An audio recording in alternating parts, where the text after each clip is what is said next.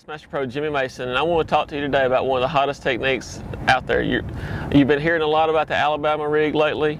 Uh, it's a really neat deal. I've been throwing it since uh, probably about since June of this year, which is four or five months before it kind of came out nationally and got real well known. I've had a lot of, it's been a lot of experimenting and a lot of fun trying to figure this out, and it, it's turned into an awesome fish catcher. Um, this one right here I've got rigged with Yum mud minnows. These are actually um, almost like Sassy Shads. They're fairly small. I use this a lot when the bait is small and I want to, you know, kind of match the hatch on the size. I rig this usually with an eighth ounce to a quarter ounce uh, swim bait heads. Most of the time I'm using a, uh, a Buckeye Lures J-Will head. Sometimes I'll use one a little bit smaller, but I always want to throw these with a, a, a really stout hook.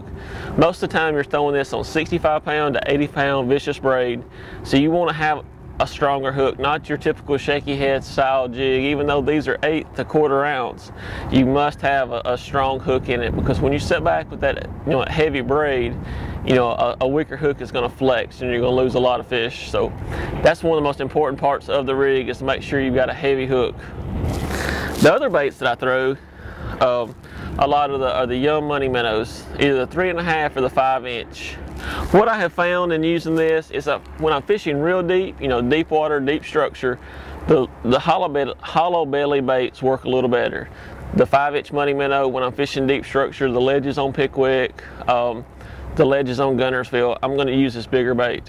But when I'm fishing the grass, for whatever reason, it's real weird, I seem to get more bites on the solid plastic, like this mud minnow.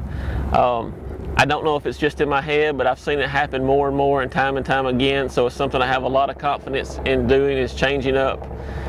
But it's, like I said, this is the Alabama rig. Play with it. It's it's something that it's going to be really exciting over the next year, seeing uh, all the different baits and the ways people adapt to fishing this. Uh, and this is definitely a bait that you can use your imagination and keep an open mind when you're throwing and and put different a lot of different baits on it. Equipment wise, when I'm throwing this, you want to use a long rod. My, the two rods I use, depending on how heavy of, of jig heads I'm using, is either a 764 Dobyns uh, light flipping stick or a 795 Dobyns swim bait rod. If I'm, if I'm using over a quarter ounce heads on this, then I'm gonna go with the swim bait rod. That'll handle up to a four ounce swim bait. Uh, and it's going to work you all day throwing this. By the time you get it all loaded up with, you know, those heads, you're talking about a three and a half to four and a half ounce bait, this whole rig. So you definitely need that longer rod with kind of some give in the midsection where you can lob it out there uh, and just fish it slow.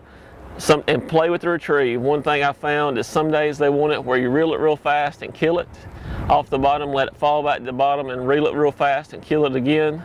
Other days they want just a slow, steady retrieve, almost like you're slow rolling a big spinner bait. Uh, it's one of those deals, you know, if you're not getting the bites you expect, kind of vary the retrieve and experiment, and, and you'll find one that they do want that day. Good luck with it.